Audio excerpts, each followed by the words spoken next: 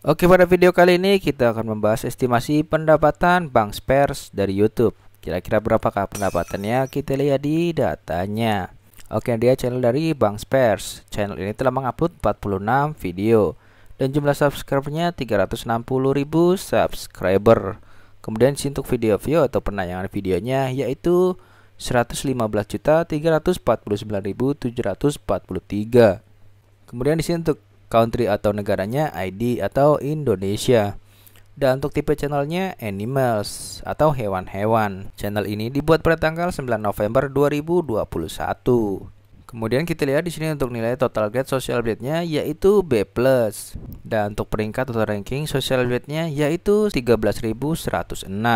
Kemudian untuk peringkat total ranking subscribernya yaitu 3.159. Kemudian untuk peringkat video view atau ranking penayangan videonya yaitu 74.521. Dan selanjutnya untuk peringkat atau ranking negara Indonesia-nya yaitu menduduki peringkat 1043. Oke, selanjutnya kita lihat di sini untuk jumlah penambahan subscribernya selama 30 hari terakhir yaitu 50.000 subscriber. Dan untuk penayangan videonya selama 30 hari terakhir yaitu 18.273.000 kali penayangan. Oke, kemudian kita lihat di sini untuk data statistiknya untuk estimasi penambahan subscriber harian dan juga estimasi pendapatan harian dan juga mingguannya.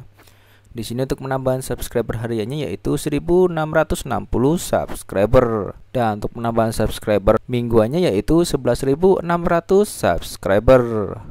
Kemudian kita lihat di sini untuk estimasi pendapatan terendah hariannya yaitu 152 dolar. Dan untuk pendapatan terendah mingguannya itu 1100 dolar. Oke, kemudian kita langsung lihat berapakah untuk estimasi pendapatan bulanan dan tahunannya.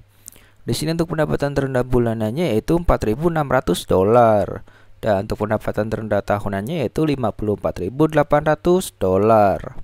Oke, kemudian kita langsung hitung saja kira-kira berapakah kalau dirupiahkan. Oke, di sini kita hanya menghitung taksiran terendahnya saja, karena biasanya taksiran terendah mendekati hasil atau mendekati gaji sebenarnya. Di sini taksiran terendah bulanannya yaitu 4.600 dolar dikali dolar saat ini 14.000 lebih. Kita ambil ratanya aja, yaitu 14.000.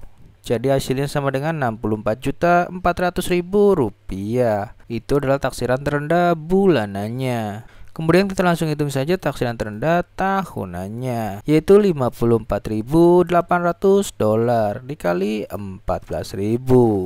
Jadi hasilnya sama dengan 767.200.000 rupiah. Oke, data di sini berdasarkan data dari Social Blade. Data sebenarnya atau gaji sebenarnya yang tahu hanya dari channel Bank Spers itu sendiri. Demikian informasi yang dapat saya sampaikan, semoga bermanfaat. Terima kasih.